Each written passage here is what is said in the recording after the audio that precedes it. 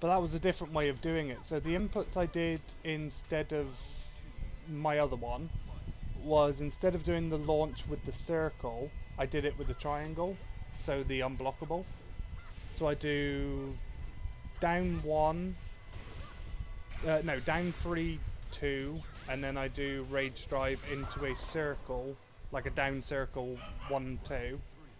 But then as my head spins off, instead of ending the combo there like I normally would, I then do another down three, but then into a one. And then the one wall splats as well, but it finishes her.